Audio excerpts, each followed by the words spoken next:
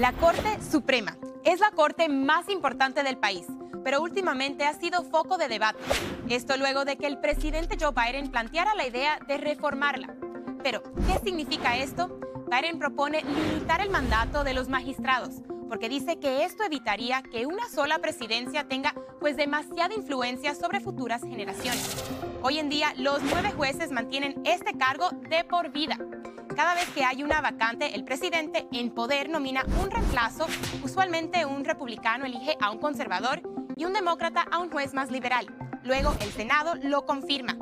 Coincidentemente, en los últimos siete años se han elegido cuatro. Biden nominó a la magistrada más nueva, Ketanji Brown, y a Trump le tocó elegir a tres, Neil Gorsuch, Brett Kavanaugh y Amy Coney Barrett. De los nueve jueces, cinco hombres y cuatro mujeres, seis tienen posturas más conservadoras y tres más liberales.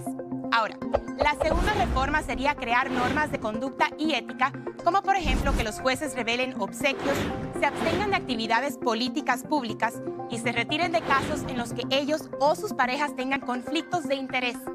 La propuesta de Biden llega luego de recientes controversias que involucran a jueces como Clarence Thomas y Samuel Alito, criticados por aceptar regalos como viajes costosos sin reportarlos, además de las decisiones de la mayoría conservadora sobre temas como el derecho al aborto. Finalmente, es difícil que estas reformas avancen, ya que Biden necesitaría el apoyo no solo de los demócratas, sino también de algunos republicanos en el Congreso. Y a poco tiempo de las elecciones presidenciales en noviembre, toca esperar quién ganará y qué opinan de estas propuestas.